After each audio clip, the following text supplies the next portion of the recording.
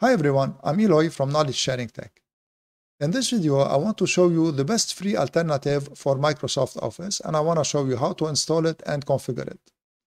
There are many free alternatives to Microsoft Office out there. You have OpenOffice, you have WPS Office, you have LibreOffice and many others.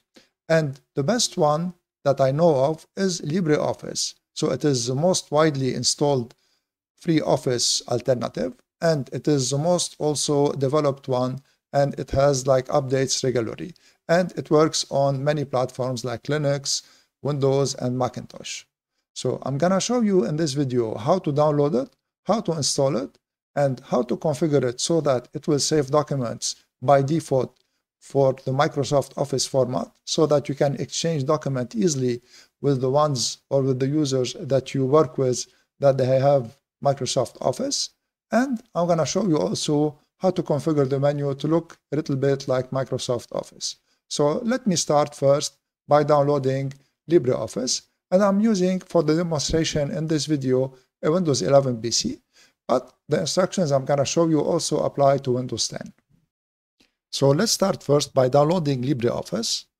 On your Windows 11 machine or on your Windows machine, open your web browser and here go to LibreOffice.org. Let me maximize it. And in LibreOffice.org, click on Download and choose Download LibreOffice. And here you have the latest version, which is at the time of this video 7.2.2. And here you have your operating system.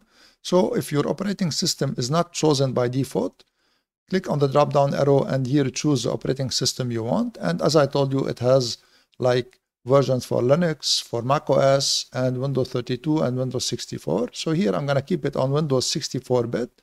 I'm using Windows 11 as I said. And then I'm going to click on download. And the download should begin shortly. And here's the download started. So I'm going to cut this video and come back when this download is finished. So now the download finished. Let's go to our downloads folder. I'm going to close the browser. We don't need it anymore. So go to the folder where you downloaded the file. Here in my case, it is under downloads. And simply double click on the installation program here. And here click on next on the first screen. And here I'm going to choose custom so that you can see the options that you have. So choose custom and then click next. And notice here you have optional components and user interface languages. So let me expand optional components. And you have under dictionaries here, many languages if you want to add languages for the dictionary. Here I'm going to keep it on English because I have Windows 11 in English, so it installed English by default. Of course, choose the language you want here. So here I'm going to expand the second menu, which is user interface languages. And here you have many languages. So you are able also to install LibreOffice to have like the interface language in the language you want. I'm going to keep it on English for me by default. So here, of course, feel free to choose the language you want. And here also you have the option to change the installation folder and drive for LibreOffice.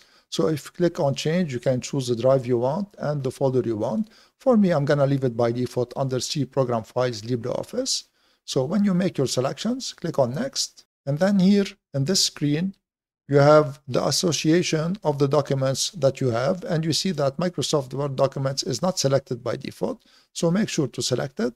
So this way you associate all the documents of Microsoft Office with LibreOffice applications. So click on next here. And here I want to create a shortcut on my desktop but I don't want to load LibreOffice automatically so I'm gonna keep these selections by default and then I'm gonna click on install. And the installation should take a couple of minutes no more and here, if you are prompted, click on yes. So this is Windows User Account Control asking you if you are sure you want to install. So of course, I clicked on yes. And this is the installation underway. So this is the installation of LibreOffice finished. Let me click on finish. And you notice here that it created a desktop icon for you. So you can start it from here. So let me pin it to my taskbar. So I'm going to right click on it and then I'm going to choose show more options and then I'm gonna click on pin to taskbar and then I'm gonna delete it from here I like my desktop to always be clean. And here it is pinned to the taskbar. So click on it to open it. And this is LibreOffice open. And you notice here on the left, you have Oriole applications. So you have the writer document, which is the equivalent of Microsoft Word. You have your calc spreadsheet, which is the equivalent of Microsoft Excel. You have the Impress presentation. This is equivalent of PowerPoint. Draw and math formula, they don't have equivalents in Microsoft Office. And you have your base database, which is the equivalent of Microsoft Access. So let me start the writer document. So let me make it a little bit here bigger like this. And here you notice that you have the standard menus, like these are the traditional menus that were in Microsoft Office in the older versions. If you like the menus to be like Microsoft Office, and I'm going to show you how to change this. So click on View, and then click on User Interface. And under User Interface here, click on Tabbed, and it is important here to click apply to all. So this way this setting that you are doing it will apply to all the applications in LibreOffice meaning calc and impress and all the other applications. So click on apply to all and then click on close here. And you notice here that you have the menu now.